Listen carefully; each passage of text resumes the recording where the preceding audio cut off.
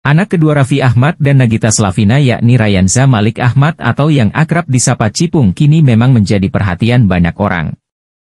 Tingkah lucunya yang selalu bikin gemas membuat dirinya menjadi idola saat ini. Tidak hanya diidolakan anak-anak saja, tapi orang dewasa pun banyak yang menyukai Cipung. Tak heran bila Cipung hadir di sebuah acara apa pun selalu bikin heboh. Seperti saat Cipung dan sang ibunda Nagita Slavina memeriahkan acara Mentari Fest 2023 di Cilandak Town Square, Jakarta Selatan, Minggu, 39. Sebagai orang tua, Nagita Slavina mengaku senang karena Cipung memiliki banyak fans dan disayangi banyak orang. Tapi dirinya juga memiliki batasan-batasan demi menjaga sang buah hati. Pastinya aku sebagai orang tua senanglah kalau anak-anaknya banyak yang sayang, banyak yang suka tapi pastinya dengan batasan-batasan. Tugas kita sebagai orang tua ya selalu harus menjaga anak semaksimal mungkin, ujar Nagita Slavina.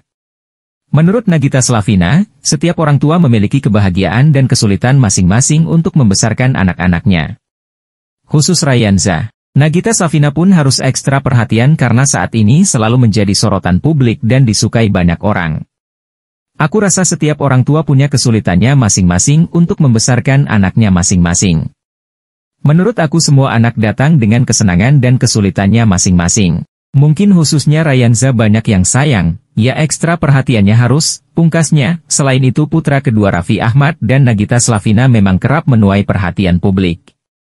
Ya, Rayanza Malik Ahmad atau akrab disapa Cipung memang selalu membuat netizen gemas. Apalagi sejak videonya sering diunggah Susrini sang pengasuh, Rayanza makin menuai pujian. Pasalnya, saat diajari Susrini, Rayanza terlihat cepat mengerti dan mudah mempraktekkan. Alhasil, Rayanza pun kerap dijuluki netizen sebagai bayi ajaib. Ditambah lagi, ia juga selalu ekspresif, ramah, serta menikmati tatkala banyak orang berada di sekelilingnya. Sementara itu, baru-baru ini melansir dari tayangan kanal YouTube Ciki Citreski yang diunggah Senin, 4 September 2023, Raffi Ahmad dan Nagita Slavina sempat diundang menjadi bintang tamu Citra Kirana dan Reski Aditya. Pada momen tersebut, selaku ibu Nagita Slavina pun membicarakan soal anggapan terkait Rayanza, yang dianggap bayi ajaib dan pintar dibandingkan dengan bayi-bayi lainnya. Perkembangan Rayanza ini kalau aku lihat Masya Allah banget ya. Kalau muncul di FYP aku tuh pinter banget, gemesin banget. Itu sebenarnya Rayanza itu ada mostly target itu bener gak sih? Tanya Citra Kirana, enggak, jawab Nagita Slavina, selain itu anak Caca Tengker dan Berry Tamim, Ansara, baru saja menggelar pesta ulang tahun yang ke-5. Acara meriah tersebut dihadiri banyak keluarga, termasuk sang sepupu, Cipung. Tak sekadar datang, Cipung membawa kado spesial bagi Ansara.